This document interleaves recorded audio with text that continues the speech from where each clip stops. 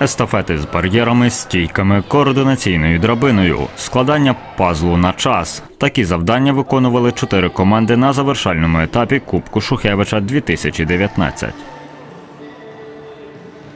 Сьогоднішня естафета це море емоцій, тому що за друге місце боремось ми і команда ТНПУ Компані. Тобто ми буквально відриваємось на два очки, і нам потрібно посісти місце не нижче, ніж вони, щоб втримати срібло. Тому здавалося б такий несерйозний етап, як естафета, але він є вирішальним, тому дуже хвилююче. Частину завдань команди виконували без світла. У спортзалі вимкнули електроенергію.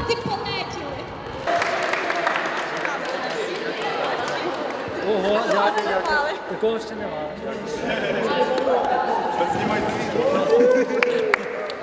Доволі несподіваний, як сказати, сюрприз. Команда прийшла, команда намагалася, сподівалася, ми доклали зусиль. Було цікаво, весело, естафети такі, можна сказати, самі не очікували, тому що з кожним роком нові зміни. Минулого року ми брали участь, дещо були інші. Цього року ми побачили для себе багато чого нового, дізналися. І такий гарний приз на пам'ять, приємні спогади про нього, враження. Вражені, багато море позитивних і хороших емоцій. Естафета закінчилася в таких цікавих екстремальних умовах. Погасло світло, допомагали ліхтариками.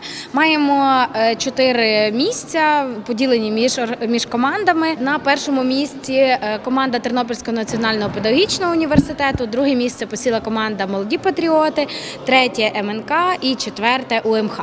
Е, Ці всі результати по естафеті будуть додані до загального заліку, і офіційне нагородження всіх команд відбудеться в сесійній залі міської ради. Очевидно, в четвер або в п'ятницю. Ми уточнюємо дати. Команди будуть повідомлені.